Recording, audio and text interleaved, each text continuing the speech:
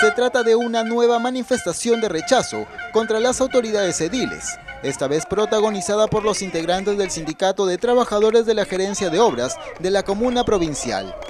Exigen el pago de un bono de 80 soles mensuales, pendiente desde enero de este año. Están debiendo un bono de 80 soles mensuales en víveres. Nos deben desde el mes de enero. De enero a abril, cuatro meses. Ya estamos mayo, que ya es el quinto vale. Por 80 soles a cada mensual, cada vale.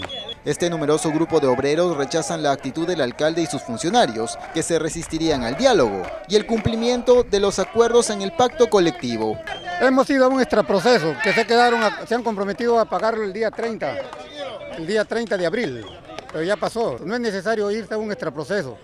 los pactos colectivos bien claros desde enero. En enero deberían haber pagado el primer vale. Son 141 trabajadores sindicalizados.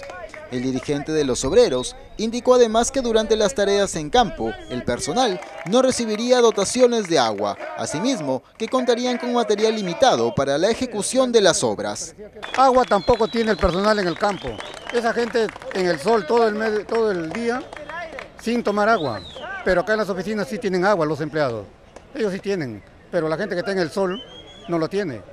Los trabajadores de esta área de la Municipalidad de Trujillo no descartaron radicalizar su medida de fuerza si su requerimiento no es atendido rápidamente.